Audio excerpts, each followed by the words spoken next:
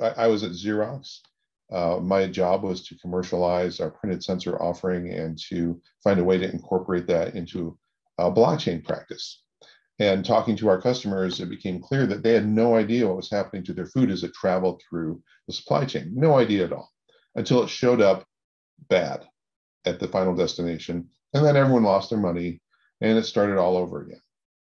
Um, so my, my thought at Xerox was, why don't we put our Xerox printed sensors, which uh, measure temperature, humidity, et cetera, onto individual packages.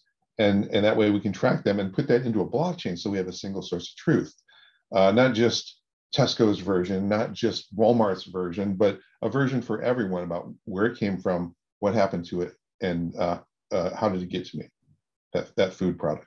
So um, I took that show on the road in 2018 and we launched Transparent Path.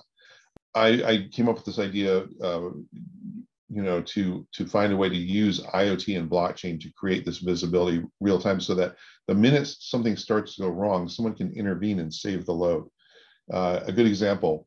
Um, my cousin is a truck driver. He was transporting a $400,000 load of crab meat from an Alaska fishery to a big retailer in the US.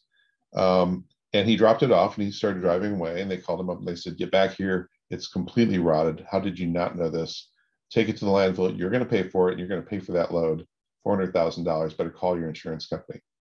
So he goes back, picks it up, takes it to the dump, pays $1,500 or 1,000 pounds uh, fee to dump this load. Of, and then he takes a hit for $400,000 on his insurance uh, and it's a five thousand dollar deductible, and he doesn't have that money, you know. So, and and so that kind of thing happens all the time. And and imagine a a um, twelve meter container of crab meat going into a landfill times how many thousands of times that happens every month across the U.S.